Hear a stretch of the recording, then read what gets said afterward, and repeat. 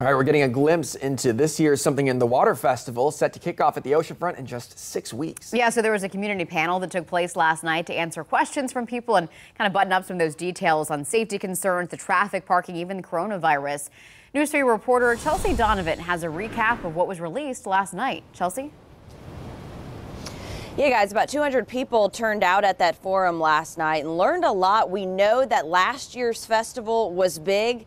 But Pharrell's Music Festival, a lot larger this year, from 35,000 last year all the way up to 60,000. And of course, the festival imprint, a lot of which is taking place right here behind me at Neptune's Park, a lot bigger as well.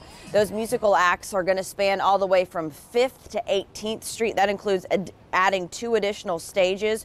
We also know that we have established a new rideshare pickup and drop off location. That's good news, as well as free rides for folks to get here on Hampton Roads Transit.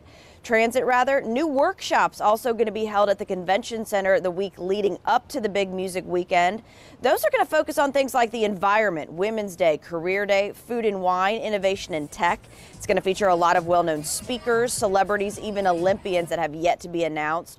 We also know a lot more entrances will be established here at the festival location, as well as a new temporary cell phone tower. That's going to be put into place after some hiccups last year.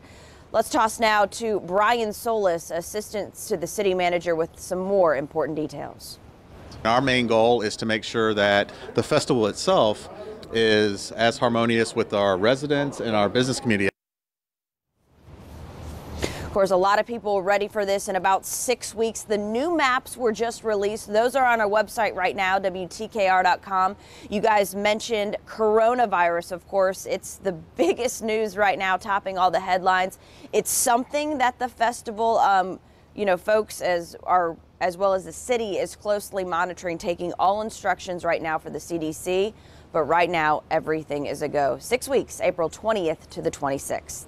We're live at the oceanfront. Chelsea Donovan, News 3.